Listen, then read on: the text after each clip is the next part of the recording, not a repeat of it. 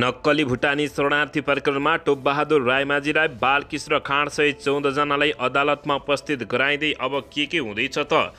सजाय यसबारे सम्पूर्ण जानकारी गृहमन्त्रीलाई एकीकृत समाजवादी पार्टीको ज्ञापन पत्र नक्कली शरणार्थी प्रकरण बिचमै सामसुम नपारौँ।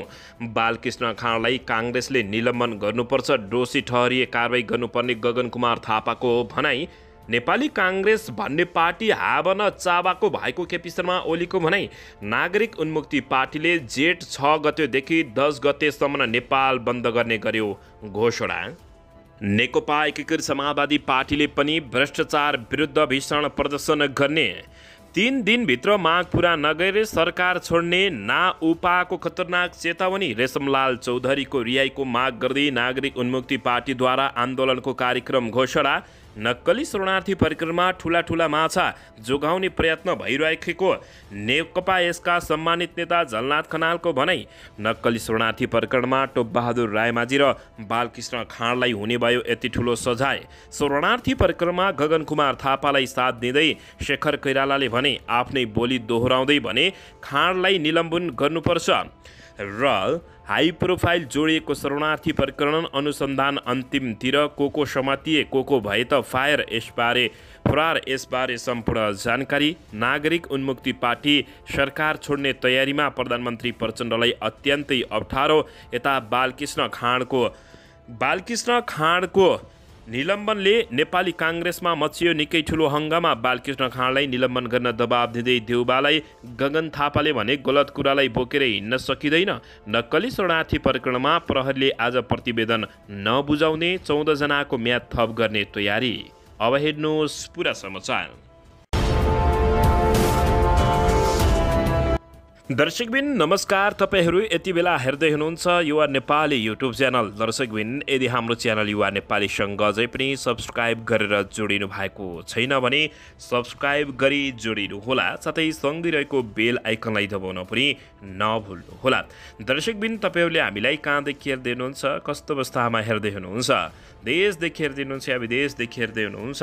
दर्शकबिन यदि तपाईँहरूले हामीलाई रेगुलर हेर्नुहुन्छ भने रेगुलर र पहिलोपटक हेर्दै हुनुहुन्छ भने पहिलोपटक भनी कमेन्ट बक्समा गई। कमेन्ट गरी हाम्रो मेहनतको लागि एउटा सानो लाइक गर्न पनि नभुल्नुहोला। आउनुहोस् दर्शक महानुभावहरू आजको पहिलो तथा विशेष खबरतर्फ लागौँ। दर्शकबिन अन्तत नेपालमा यति बेला भ्रष्टाचार काण्डले निकै ठुलो उतलपुतल मनाइरहेको अवस्थामा फेरि नागरिक उन्मुक्ति पार्टीले जेठ छ गतेदेखि दस गतेसम्म नेपाल बन्दको घोषणा गरेको छ। दर्शक महानुभावहरू नागरिक उन्मुक्ति पार्टीले टिकापुरको घटना रा राजनैतिक भएको बताएको छ। बुधबार पत्रकार सम्मेलन गर्दै नागरिक उन्मुक्ति पार्टीका वरिष्ठ उपाध्यक्ष दामोदर पण्डितले टिकापुर घटना राजनीतिक घटना भएकाले लाल आयोगको प्रतिवेदन सार्वजनिक गर्न र रेशम लाल चौधरी लगायतलाई रिहाई गर्नुपर्ने बताएका छन्। उनले यो अदालतले मुद्दा नभई राजनीतिक भएकाले सरकारले लाल आयोगको प्रतिवेदन सार्वजनिक गर्नुपर्ने बताएका छन्। उनले आयोगको प्रतिवेदन सार्वजनिक नगरी आन्दोलन गर्ने निकै कडा चेतावनी दिएका छन्। उनले नाउपाले जेठ तिन चार पाँच गते कोणसभा र विरोध प्रदर्शन गर्ने बताएका हुन्। भण्डारीले त्यति बेलासम्म पनि माग पुरा नभए जेठ छ गतेदेखि जेठ दस गतेसम्म नेपाल बन्द गर्ने घोषणा गरेपछि यति बेला निकै ठुलो हत निकै ठुलो हङ्गामा मचिएको छ। भण्डारीका अनुसार रेशमलाल चौधरी हत्यारा हुन् भन हुन् भने फाँसी दिने ऐन बनाएर फाँसी दिन हुने तर्क गरेका छन्। टिकापुर घटनामा रेशमलाल चौधरीलाई रेशम चौधरीलाई जन्मकैदको सजाय हुने गरी कैलाली जिल्ला अदालत र उच्च अदालत दिपालले गरेको फैसला सर्वोच्च अदालत पनि सदर गरेपछि दर्शक महानुभावहरू यति बेला निकै ठुलो हङ्गामा मचिएको छ। दर्शकबिनी यता भने नक्कली भुटानी शरणार्थी प्रकरणमा टोपबहादुर रायमाझी र बालकृष्ण खाँडसहित चौधजनालाई अदालतमा उपस्थित गराइने भएको छ। नेपाली नागरिकलाई नक्कली भुटानी शरणार्थी बनाउने गिरोहमा संलग्न रहेका आरोपमा अहिलेसम्म चौधजना पक्राउ परेका छन्। पक्राउ परेकाहरूको अनुसन्धान अझै बाँकी रहेकाले आज बुधबार म्याद थपका लागि अदालतमा उपस्थित गराउने प्रहरले जानकारी गराएको छ। प्रहरले नक्कली भुटानी शरणार्थी प्रकरणमा संलग्न रहेको आरोपमा गत चैत बाह्र गते तिनजनालाई पक्राउ गरेको थियो। उनीहरू चौन्न दिनदेखि प्रहरी हिरासतमा रहेका छन्। सङ्गठित अपराधमा पक्राउ परेको साठी दिनभित्र अदालतमा मुद्दा दर्ता गर्नुपर्ने प्रावधान रहेको छ। तर पछाडि पत्र पक्राउ परेका आरोपीहरूसँग म्याद मिलानको तयारी भइरहेको बताइएको छ। नक्कली शरणार्थी प्रकरणमा आरोपित तत्कालीन गृहमन्त्री रामबहादुर थापा बादलका छोरा प्रतीक बादलका सुरक्षा सल्लाहकार इन्द्रजित राईका छोरा निज फरार रहेका छन्। दर्शक महानुभावहरू यी भ्रष्टाचारीहरू यदि ठहर भए भने तपाईँहरूले कस्तो सुझाव माग गर्नुहुन्छ कमेन्ट बक्समा लेख्नुहोला। दर्शकबिन यसैबीच यता भने बालकृष्ण खाँडलाई काङ्ग्रेसले निलम्बन गर्नुपर्ने दोषी ठहरिए कारवाही गर्नुपर्ने गगन कुमार थापाले चर्को आवाज उठाएका छन्। नेपाली काङ्ग्रेसका महामन्त्री गगन कुमार थापाले नक्कली भुटानी शरणार्थी परिक्रमा मुछिएका जो कोहीलाई पनि कारवाही गर्नुबाट पछाडि हट्न नहुने घोषणा गरेका हुन्। बुधबार काठमाडौँमा आयोजित प्रजातान्त्रिक विचार समाजको बाह्रौँ राष्ट्रिय महाधिवेशनलाई सम्बोधन गर्दै उनले यस्तो बताएका हुन्। उनले नक्कली भुटानी शरणार्थी प्रकरणमा काङ्ग्रेस पार्टीबाट नाम जोडिएका नेता बालकृष्ण खाँडलाई पार्टीले तत्कालीन निलम्बन गर्नुपर्ने बताएका छन्। उनले अनुसन्धानमा पार्टी जोडिन नहुने र अनुसन्धानबाट दोषी ठहरिए सबैलाई कारवाही हुनुपर्ने पनि बताएका हुन्। अहिले एउटा प्रकरणको बहस चलिरहेको छ। प्रकरणका बारेमा पार्टीमा बहस भयो प्रकरणमा पार्टीका नेता मुछिनु भयो। नेता मुछिसकेपछि विधिको शासन भएको ठाउँमा कानुनी प्रक्रियालाई सबैले विश्वास गर्नुपर्दछ गगन कुमार थापाले बताएका हुन्। अनुसन्धानबाट दोषी ठहरिन्छ भने दोषीलाई सजाय दोषीले सजाय पाउनुपर्छ। यो खालको राष्ट्र विरुद्धको अपराध राजद्रोहमा अनुसन्धान निष्पक्ष हुनुपर्छ। जो जो मुछिन्छन् सबैलाई कारवाही हुनुपर्छ। त्यसमा दायाँ बायाँ कोही पनि हुनु हुँदैन उनले बताएका छन्। महामन्त्री गगन कुमार थापाले नक्कली भुटानी शरणार्थी प्रकरणमा राष्ट्र विरुद्धको अपराध भएको उल्लेख गरेर उनले कुनै पनि पदमा बसेको व्यक्ति अभियोग लागिसकेपछि निर्दोष नपुगुन् नहुन् जेलसम्म स्वत निलम्बनमा पर्नुपर्ने बताएका हुन्। उनले पार्टीको बैठकमा यसबारे छलफल भए पनि केही नेताहरूले पार्टीको परम्परा नरहेको भन्दै पन्छिन खोजेकाले परम्परा तोडेर भए पनि निलम्बन गर्न आवश्यक रहेको उनले बताएका छन्। गलत कुरालाई परम्पराको नाम बोकेर हिँड्न नहुने बताउँदै उनले भने पार्टीका नेताहरू भ्रष्टाचारी भए पनि पार्टी नै भ्रष्टाचारी हो भन्न नमिल्ने तर्क गरेका छन्।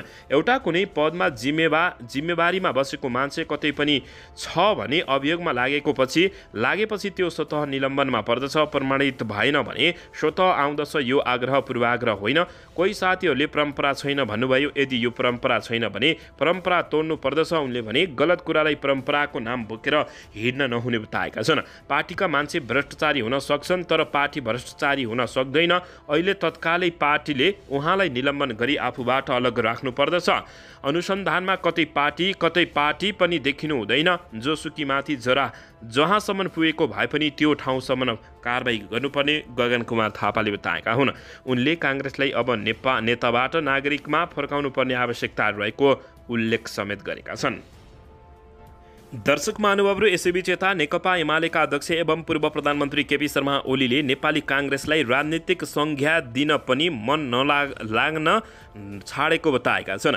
काङ्ग्रेस भन्ने पार्टी हावन चाबाको भएको बताएका छन्। बुधबार काठमाडौँमा मदन आश्रितको तिस औँ स्मृति दिवसलाई सम्बोधन गर्दै अध्यक्ष केपी शर्मा ओलीले काङ्ग्रेस किङ्कृत ब्युतिम्बुम भएको दावी गरेका छन्। नेपाली काङ्ग्रेस भन्ने एउटा पार्टी छ। हावाना चाबाको कुनै राजनीतिक संज्ञा दिन पनि मन लाग्दिन छाडिसके उनले बताएका छन्। ओलीले भने देशमा यस्तो गम्भीर परिस्थितिमा छ एउटा लामो इतिहास बोकेको काङ्ग्रेस भोलि कहाँ जाने केही थाहा छैन भन्ने जस्तै छ। आज कसरी देशलाई सही बाटोमा लैजान भन्ने सोच्ने अवस्था नभएको केपी शर्मा ओलीले बताएका छन्। अहिलेको गठबन्धन सत्ता र सरकार प्राप्त गर्न मात्रै गरिएको गठबन्धन भएको केपी शर्मा ओलीको आरोप रहेको छ। सत्ता गठबन्धनकोले राजनीतिलाई हलुका रूपमा लिइरहेको छ। देशको परिस्थिति अत्यन्त गम्भीर छ अत्यन्त जटिल छ उनले भने त्यसैले हाम्रो पार्टीले एक्लैले यो अभिभारा वस्तुत्व पुरा गर्नुपर्ने परिस्थिति भनेको बताएका छन्। देश जनता सुशासन परिवर्तनका लागि नेकपा एमाले पनि गठबन्धन गर्न सक्ने अध्यक्ष केपी शर्मा ओलीको भनाइरहेको छ। केपी शर्मा ओलीले हावाना चावाको नेपाली काङ्ग्रेस भएको बताएका हुन्। दर्शकबिन यसैबीच यता भने नेकपा यसले भ्रष्टाचारी विरुद्ध प्रदर्शन गर्ने भएको छ। नेकपा एकीकृत समाजवादी पार्टीले भ्रष्टाचार विरुद्ध प्रदर्शन गर्ने भएको हो। जेठ चार गते दिनको तिन बजे माइतीगर मण्डलमा विरोध प्रदर्शन गर्ने प्रवक्ता जगन्नाथ खट्टिवडाले बताएका छन्। उनले नक्कली भुटानी शरणार्थी प्रकरणमा सत्य तथ्य छानबिन गर्न माग गर्दै उपप्रधान तथा गिने मन्त्री नानकाजी श्रेष्ठ सबै जिल्लाबाट जिल्ला प्रशासन कार्यालय मार्फत आजै प्रधानमन्त्रीलाई ज्ञापन पत्र पनि बुझाउने जानकारी प्राप्त भएको छ दर्शक महानुभावहरू यसैबीच नक्कली शरणार्थी प्रकरणमा ठुला ठुला माछा जोगाउने प्रयत्न भइरहेको नेकपा यसका सम्मानित नेता झलनाथ खनालले बताएका छन्। नेकपा एकीकृत समाजवादी पार्टीका सम्मानित नेता झलनाथ खनालले नक्कली भुटानी शरणार्थी काण्ड राष्ट्रघाती र देशद्रोही भएको बताएका हुन्। आज बुधबार मदन आश्रित स्मृति दिवसको अवसरमा पार्टी कार्यालयमा आयोजित कार्यक्रमलाई सम्बोधन गर्दै उनले उक्त काण्ड देशद्रोही भएकाले सही ढङ्गले निष्कर्षमा पुर्याउन आवश्यक रहेको बताएका छन्। देश भ्रष्टाचारले आक्रान्त भएको छ। नक्कली भुटानी शरणार्थी काण्ड सतहमा आएको छ। यो अत्यन्त लज्जास्पद छ। उनले भने यो राष्ट्रघाती काण्ड हो यो देशद्रोही काण्ड हो मानव बेस विखनसँग सम्बन्धित काण्ड हो अत्यन्त ठुलो अपराध हो यो काण्डलाई सही ढङ्गले टुङ्गाउनु पर्छ कि पुर्याउँदैन पर्दैन उनले बताएका छन्। आज हाम्रो पार्टी नेकपा एकीकृत समाजवादी पार्टी देशव्यापी रूपमा चिन्तनका साथ हेरिरहेको छ। यो कुरालाई ठिङ्ग ढङ्गले टुङ्गो लगाउनु पर्ने नेकपा यसका सम्मानित नेता झलनाथ खनालले बताएका हुन्।